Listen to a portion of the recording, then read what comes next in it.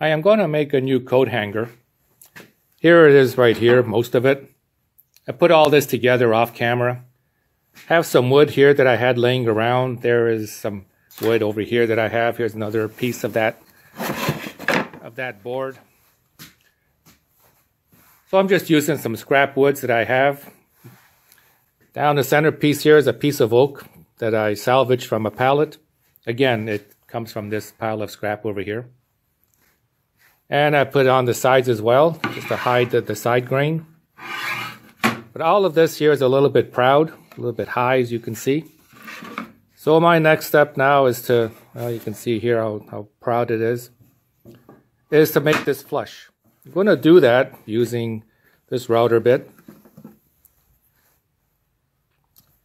A flush mounting router bit, and now I gotta go way over there, get my router, set it up, bring it on over here, and do some routing.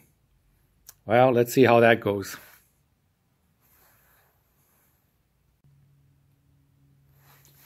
Oh, there it is. I took the router down, sitting here on top of my table saw. Use it as a bench as well.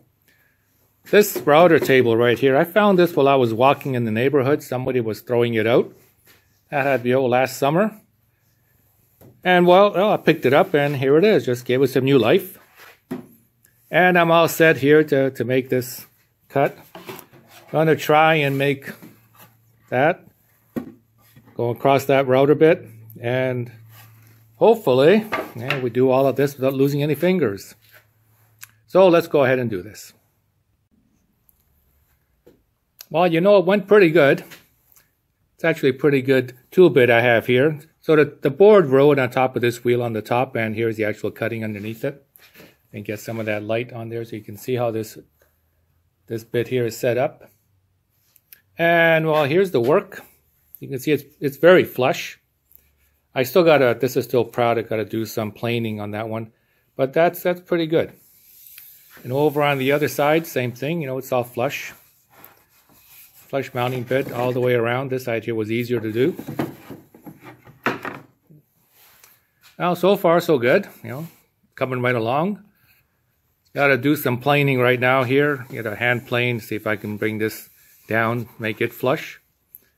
And this ought to be just about ready to, to be stained after it's all done because I'm going to probably wind up removing some of that stain as you, as you can see here. Now, off we go.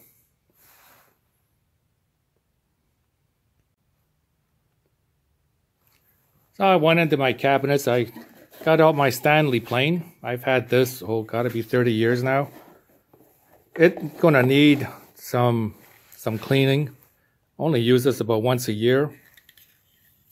But let's see if I can use this plane in order to shave off just a little bit of material from the top of this.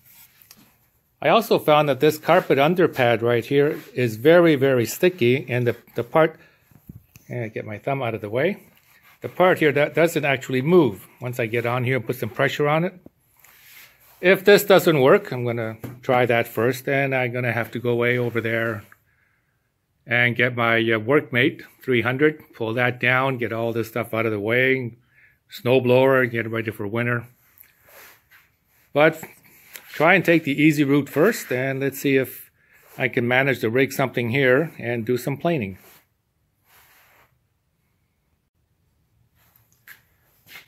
So here's what I set up. I clamped the, uh, the underpad to my, well, my table saw, using it as a table with these clamps. So I got an edge here. I got a stop at the other end. Here's my piece. And use my plane very carefully. Run this through and you can see it's doing a pretty good job. Here are some of the shavings. So I can't hold the camera and do the planing at the same time, so I'm just going to have to do all of this off camera.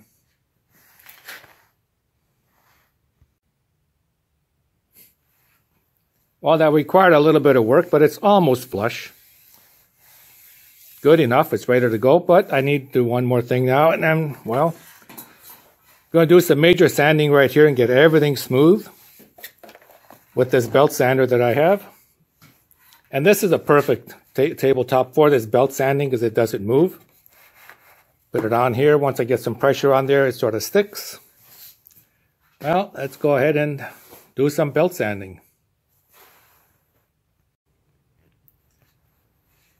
As it turns out in the end, well, I, this was much too powerful for, for this little setup, so I had to take out the workmate and finish the job out here. Yeah, it's a little dusty, but everything is smooth, ready to go. I just have to finish off some hand sanding and I'll be ready for stain.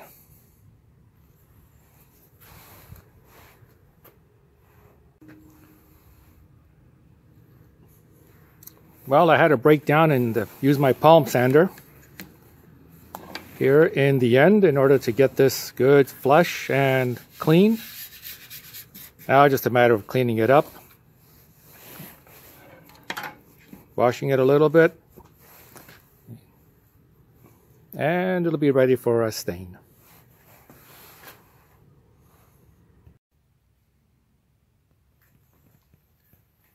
And here it is, all cleaned up, sanded. Took me one cup of coffee to do all of this. Uh, got the garage all cleaned up as well, everything put away.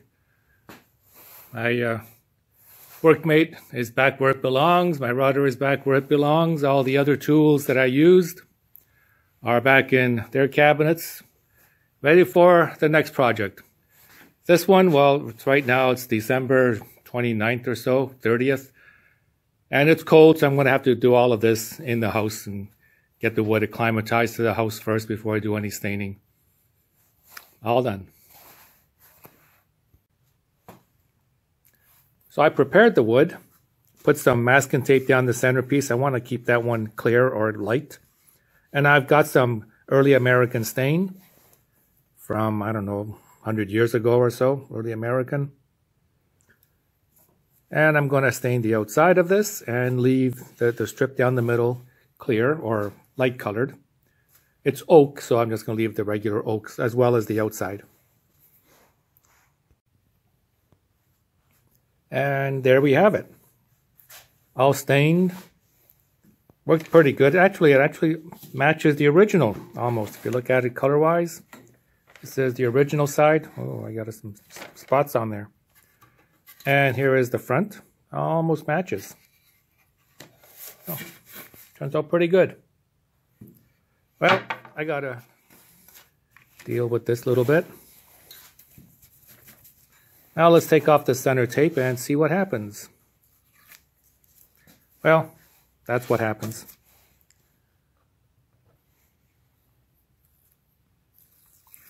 So this was a piece of oak, slightly light, lighter colored. I'm going to have to work on removing this tape. And there it is. So that is what I was looking for. Dark outside with a light inner, or inner strip.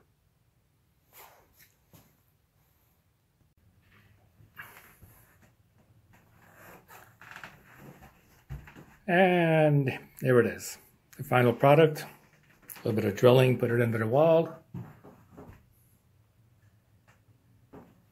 You can see I made that center stripe in order to match, oh, that center stripe.